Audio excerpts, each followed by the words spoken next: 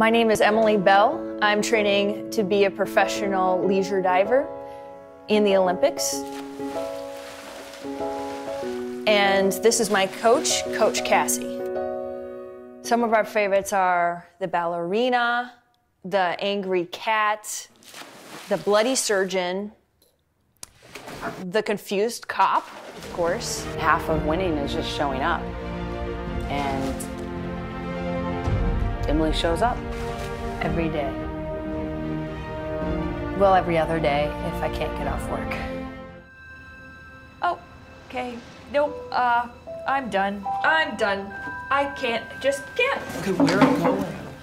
Look, I don't know why you thought coming back in time and lying to me about who you were, and then just unloading every little grisly detail about my life was going to work out well for you romantically.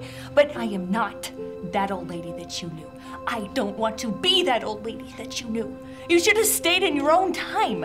You would have had a better shot with me then. Oh. Well, I might No, be into it. That's gross. No. If things worked between us, there's a possibility we could change that future.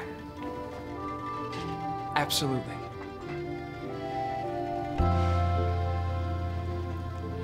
I need you to forget the future you know. We're gonna make our own future. Deal? Deal. Let's go. I have thought of exactly 27 hypothetical routes to Hillary's inner circle, and we have to be ready to implement any one of them at any time. What's number 15? Number 15, meeting Jon Favreau at an industry event, getting him drunk, making sweet, sweet love to him, and eventually getting him to introduce us to the Obama team. I volunteer to take that bullet when the time comes. What? No, you don't get them all. He's mine! Oh, I know. Perhaps some fresh air will perk me up.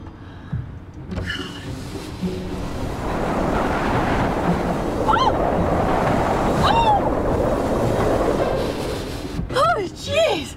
That was a little too much fresh air. Whew.